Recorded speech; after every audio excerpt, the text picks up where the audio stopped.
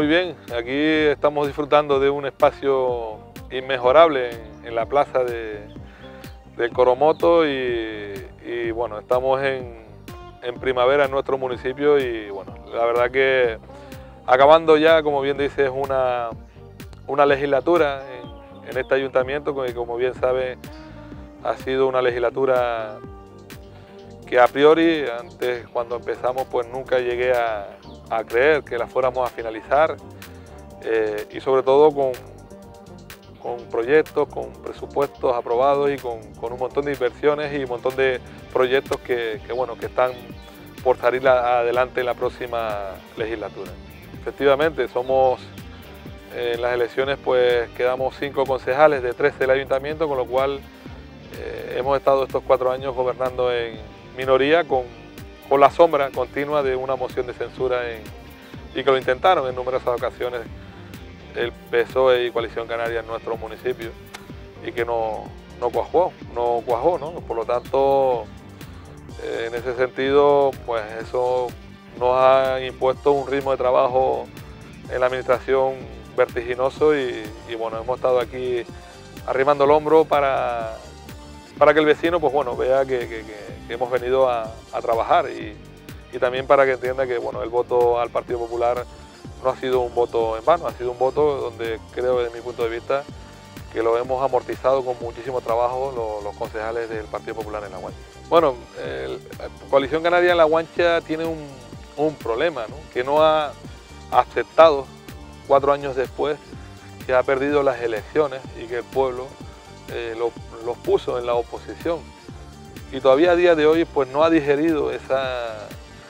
esa pérdida de electorado que ha tenido en, estas últimas elecciones y que haya sido el Partido Popular y Antonio Hernández el alcalde del municipio. Y así lo reprocha continuamente pues, bueno, en todos los actos, en plenos y, en la prensa. En ese sentido, eh, yo le animo a que reflexione y que piense y, y que creo que es lo que debe hacerse, autocrítica de los motivos por los cuales eh, se ha perdido de esa forma tan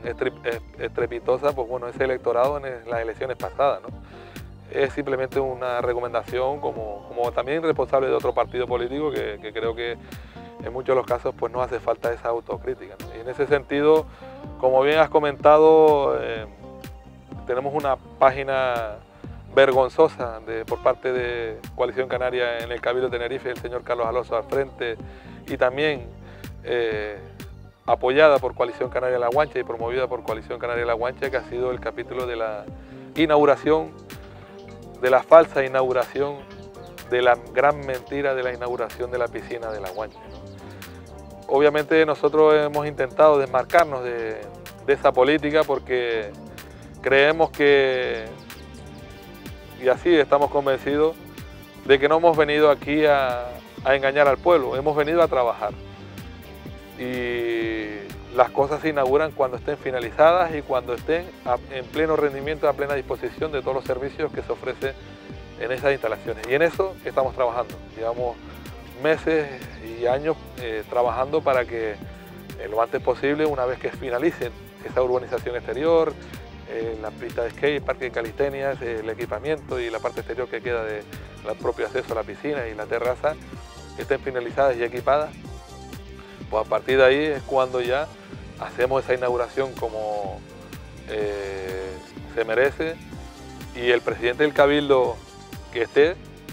que espero y deseo que no sea Carlos Alonso, obviamente me gustaría que fuera López Afonso, sin duda alguna eh, estoy convencido que me podría representar muchísimo más como presidente del Cabildo que lo que está haciendo en estos momentos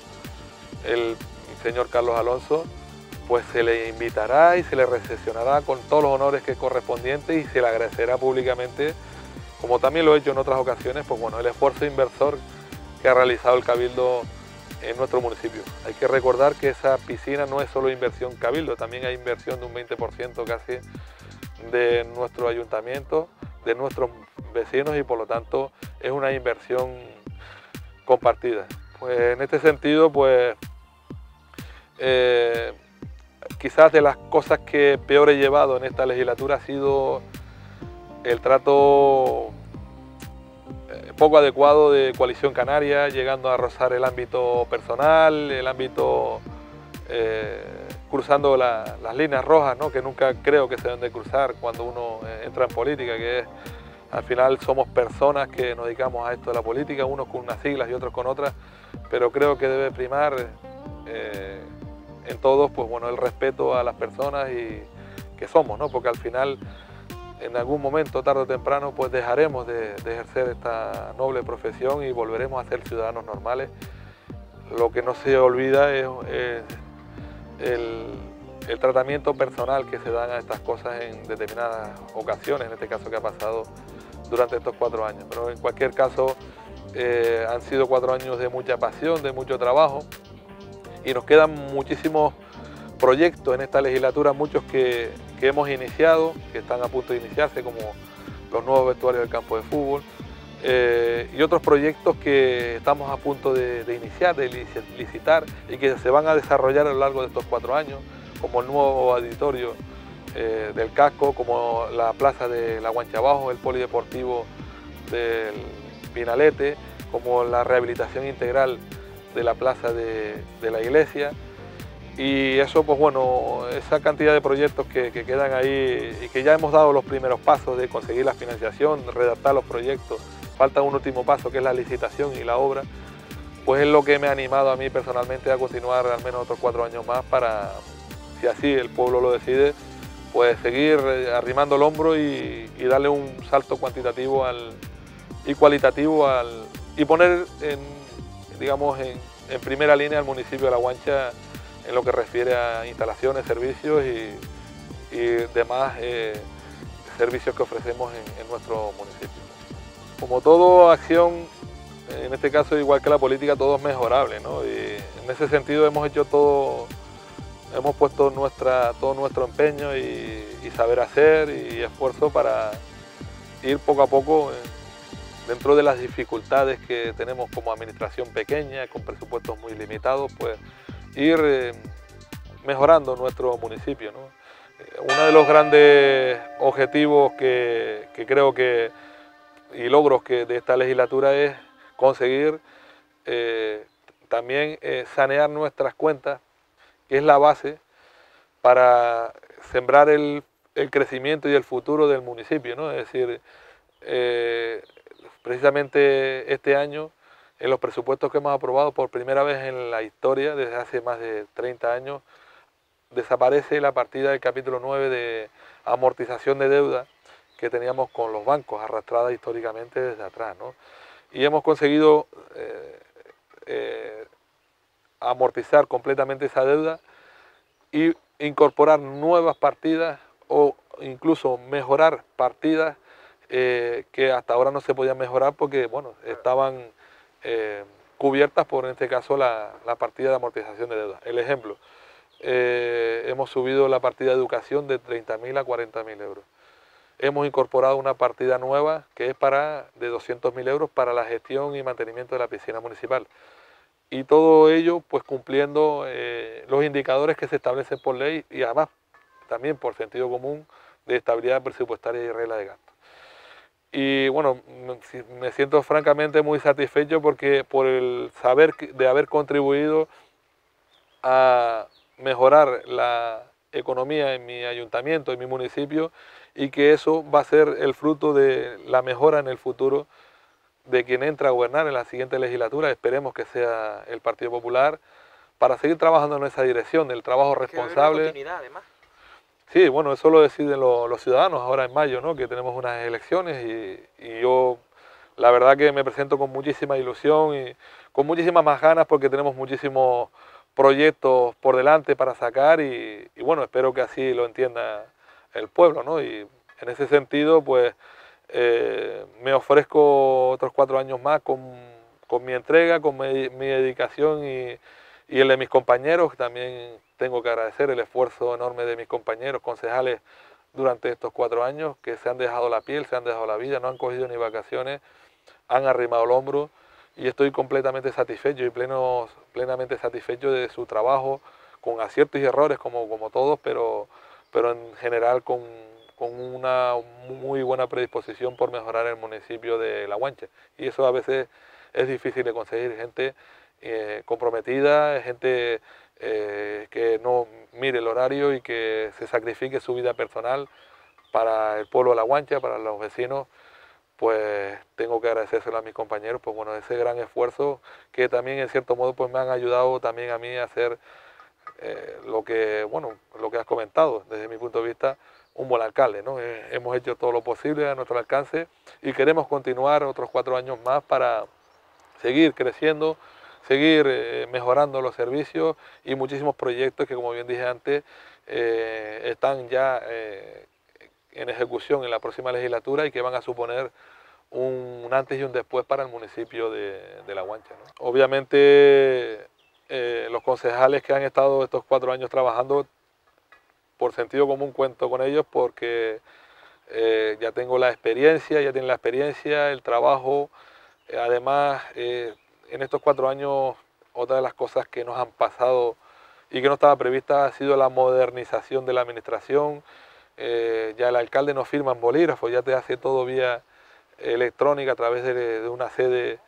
que, hemos eh, puesto en marcha. Hemos coordinado ya como nunca hasta ahora había ocurrido todos los departamentos. Los, expedientes se están llevando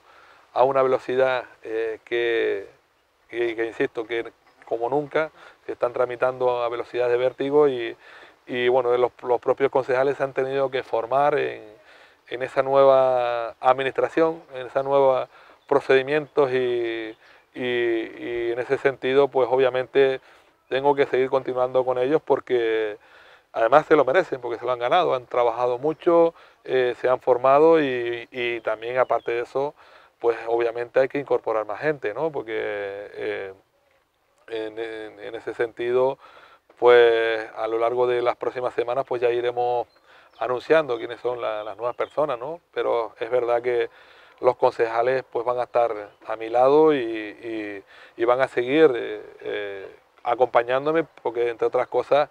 son personas de mi confianza y me han mostrado a mí que son eh, dignos representantes de esta administración y responsables en todos los sentidos para seguir otros cuatro años a mi lado, ¿no? Y eso en ese sentido pues eh, incorporaremos gente nueva y continuando con, los, mismos que estamos. Bueno,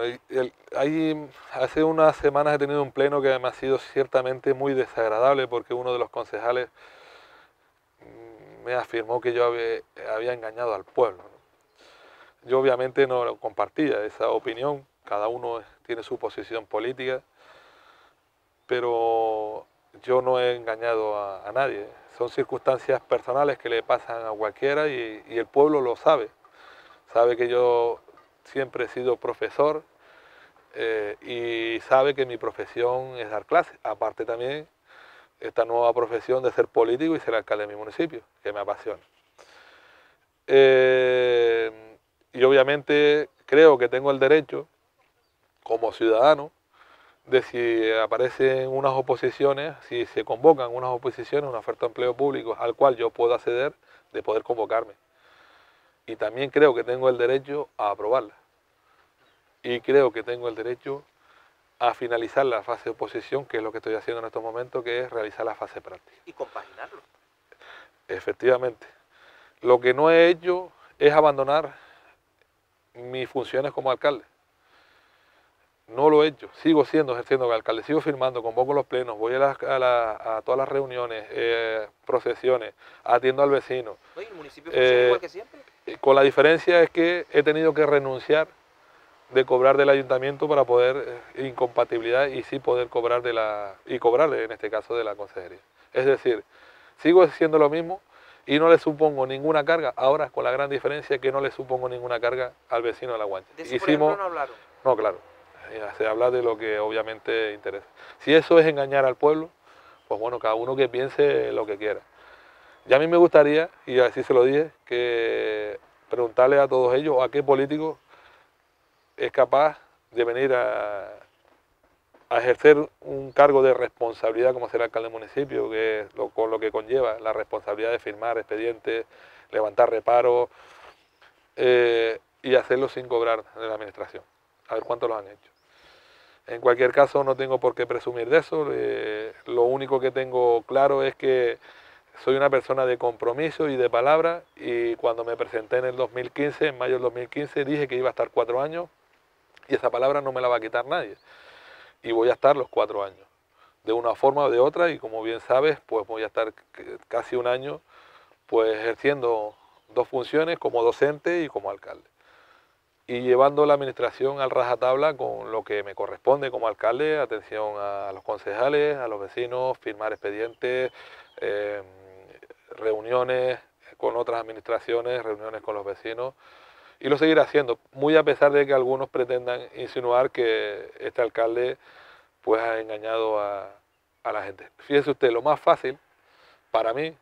eh, una persona que saca soy profesor licenciado en ciencias químicas, me presento unas oposiciones de secundaria pues, como profesor de física y química, saco las oposiciones. Créame, lo más fácil hubiera sido renunciar, haber renunciado al acta de concejal y dar paso al siguiente en la lista de, que se presentó por el Partido Popular y terminar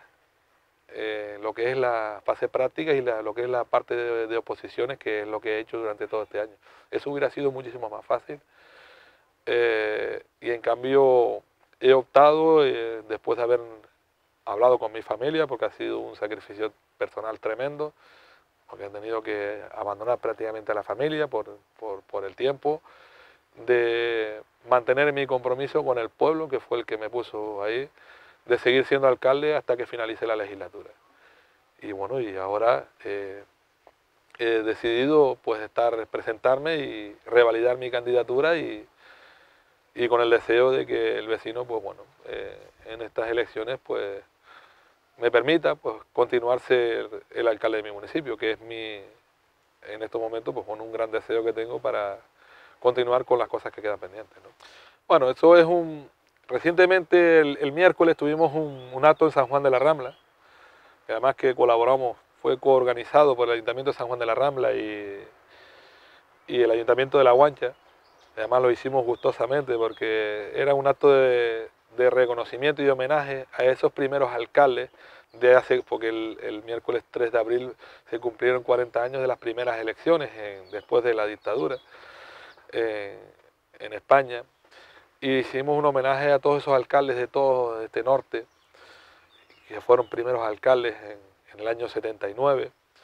y donde se hizo hincapié y se puso mucho en valor el, la unión que existió en ese momento para eh, reivindicar eh, una cosa tan sencilla como era un reparto justo de la carta municipal.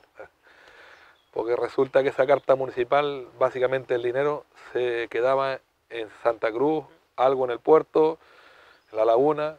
y la calderilla, pues si quedaba, venía para la guancha, con lo cual no, no teníamos recursos. Pues todos esos alcaldes se unieron unos para beneficiarse y otros para perjudicarse, pero con una filosofía que era hacer un reparto justo eh, de los recursos que habían en esa época para los ayuntamientos. Y eso supuso un beneficio para todos estos municipios, muy en particular para el municipio de La Guancha. Y yo desde aquí llamo o clamo a todos los alcaldes a tener el espíritu del 79 el espíritu de esos alcaldes que, independientemente de cuál fuera su sigla política, se unieron para reivindicar eh, injusticias que tenemos, que seguimos teniendo, como bien has comentado. El anillo insular, el mal llamado Hospital del Norte, el atropello de, la, de, la, eh, de lo de las guaguas, el cambio de, de las rutas de las guaguas. Eh, y en general, lo de la piscina de la guancha, como bien usted ha comentado. Y todo esto pasa porque obviamente eh, desde otras instituciones interesa eh, que los ayuntamientos no estén unidos, porque si divides vencerá. Y desde aquí pues yo le reclamo, ya quedan dos meses, pero de cara a la próxima legislatura, reivindico a, todos los alcaldes unirnos independientemente de las siglas de, que representemos, porque no tenemos que olvidarnos que representamos a la gente. La sigla es una figura que nos permite a nosotros presentarnos, una figura política. y pensar en, esta comarca. Y, como bien dijo, recuperar ese espíritu del año 79 que tanto ha hecho progresar, aunque no todo lo que quisiéramos, a, toda esta comarca y estos municipios, para defender un cierre real del anillo insular, un hospital del norte de, verdad, un muelle deportivo y pesquero eh, eh, con posibilidad de atraque de, grandes barcos en el puerto de la Cruz. Y en definitiva mm, una conectividad eh, mucho mejor de la que en estos momentos estamos teniendo con el transporte público. Y en definitiva un montón de servicios que hagan que esta comarca pudiéramos decir